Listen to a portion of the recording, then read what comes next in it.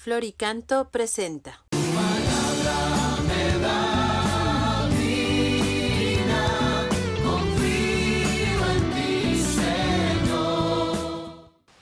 En el nombre del Padre y del Hijo y del Espíritu Santo. Amén. Palabra de vida del Santo Evangelio según San Juan, capítulo 12, versículos del 13 al 25.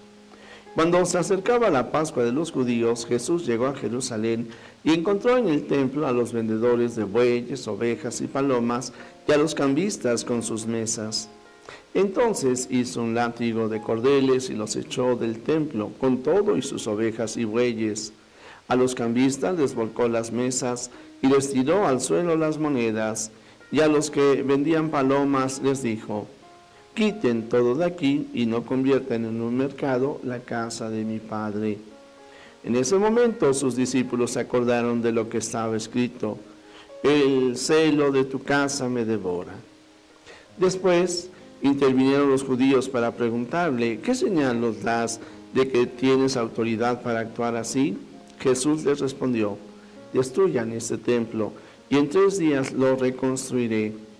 Replicaron los judíos, 46 años ha llevado la construcción de este, de este, templo y tú lo vas a levantar en tres días.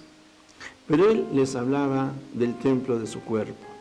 Por eso, cuando resucitó Jesús de entre los muertos, se acordaron sus discípulos de que había dicho aquello y creyeron en la escritura y en las palabras que Jesús había dicho.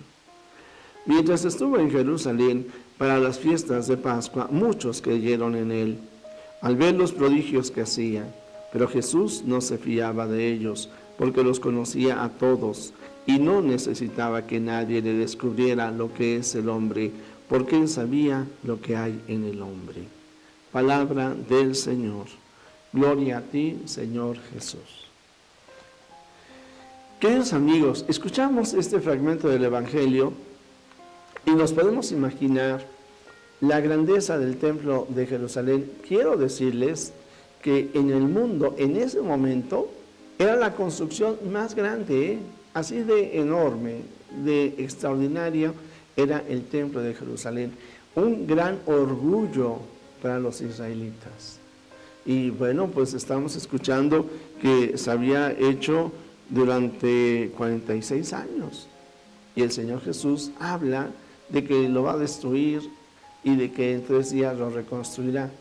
Pero el mismo fragmento del Evangelio nos aclara, no se refería al, templo en cuanto a lo físico, sino a su, a su cuerpo, porque Cristo resucitaría. De tal manera que cuando nosotros escuchamos que el Señor Jesús dice, no hagan un mercado de mi templo, entonces podríamos pensar, yo soy el templo vivo de Dios. Y entonces, ¿cómo anda mi mente de cochambrosa? ¿Cómo anda mi mente de malas ideas, de malos pensamientos? Algunos de, venganza, algunos de robo, algunos de tristeza, de pena, de miedo, de angustia, de suicidio.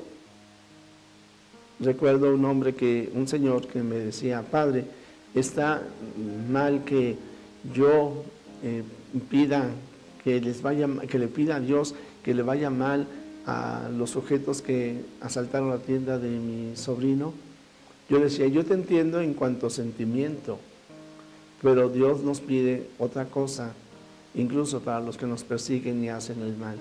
Oremos por su conversión.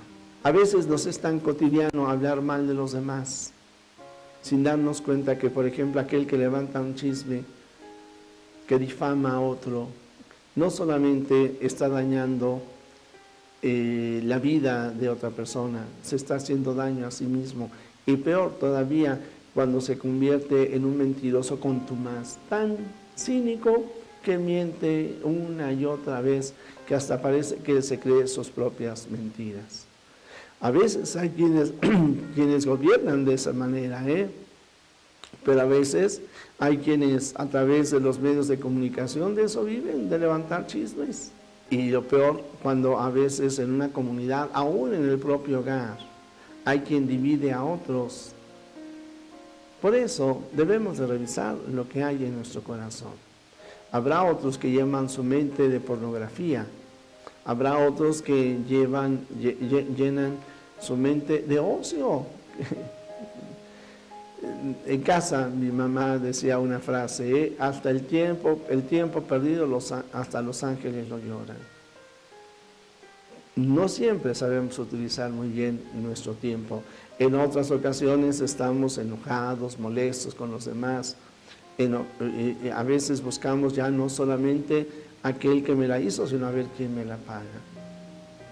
Bueno, pues el tiempo de la cuaresma es para revisar, a ver cómo están mis pensamientos, cómo está mi corazón, cómo están mis labios, qué es lo que yo veo, qué es lo que yo digo, qué hablo, qué es lo que yo pienso, qué es lo que yo siento.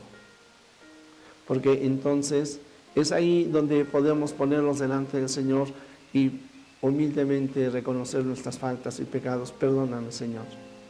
Porque no he sabido utilizar los dones que tú me das. En ocasiones porque no me había dado cuenta. En ocasiones porque el ambiente me está orillando aquello. Pero tengo que romper esa cadena. Cuento con tu gracia, con tu perdón, con tu amor, con tu palabra que me instruye y que me lleva o me invita a tomar el buen camino que me conduce hacia ti. Sí, Señor, en este domingo, en este día en donde nos reunimos para escuchar tu palabra, junto con mis hermanos, o por lo menos yo desde lo más profundo de mi corazón, quiero decirte, ven y sáname, cámbiame, límpiame, purifícame, perdóname, Señor. Porque este templo, la vida que tú me das, quiero entregártela lo más puro que sea, lo más pura que sea posible. Y quiero amarte entonces amando y sirviendo a los demás. Ven y derrama tu espíritu en mi corazón. Actúa en mi vida, Señor. Transfórmame para que me asemeje a ti. Jesús, que todos te conozcan y te amen es la única recompensa que quiero. El Señor está contigo, el Señor está con ustedes. La bendición de Dios Todopoderoso, Padre, Hijo y Espíritu Santo, descienda sobre ti, sobre México y el mundo entero. Amén.